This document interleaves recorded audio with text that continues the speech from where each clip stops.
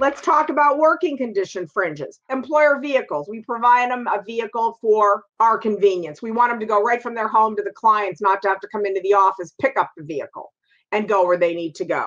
Uh, other examples. Uh, investment bankers that are given a Wall Street Journal subscription using the corporate jet. Now, some of them come with a with a with a tax. So if you give them a vehicle, remember you've got to use one of the methods, the uh, the leasehold inclusion amount, um, the cents, you know, the three dollars a day amount. I mean, there's like four or five different ways within which we can value uh, the, the the employer vehicle for the commuting piece. Like, let's just say we just give them a car and they use it to commute back and forth to the office. Well, remember, commuting expenses aren't deductible. So one would think, oh, well, the IRS will disallow the entire expenses of the car. They really won't. I mean, if you follow the rules, we'll be able to not include that in their W 2. Let's take a look at uh, the corporate jet. They use the uh, the SIFL rate, which is the standard industry fare level rate, on how to determine how much goes into the W 2. That also determines how much depreciation, how many, how much costs.